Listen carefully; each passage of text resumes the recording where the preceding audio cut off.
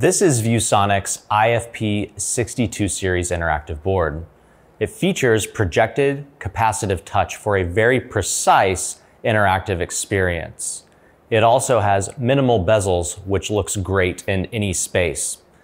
You'll notice that you can use styluses with the board for that precise writing whiteboard experience. These work great when using any kind of whiteboard, such as Microsoft Whiteboard or our own in-house MyViewBoard whiteboard.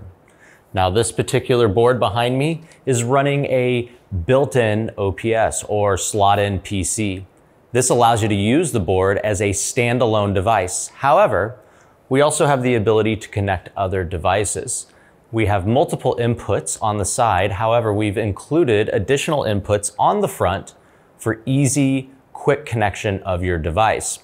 For example, you can connect via HDMI and USB to get that audio, video, and touch experience, or USB-C, which as you know, allows for audio, video, touch, and it'll charge your device.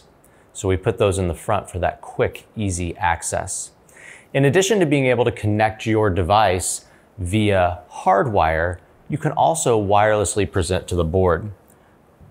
We have VCast receiver included, which allows you via pin code to project up to four screens at once to the board and also features touchback on Windows and Mac devices.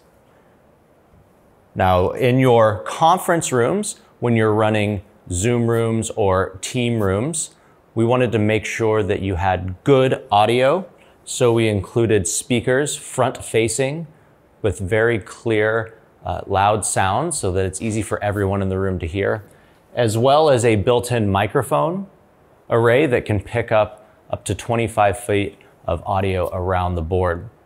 Now, if you need to mount a conference camera, there are mounts on the top as well that fit any type of camera, including Logitech or even ViewSonic's in-house cameras.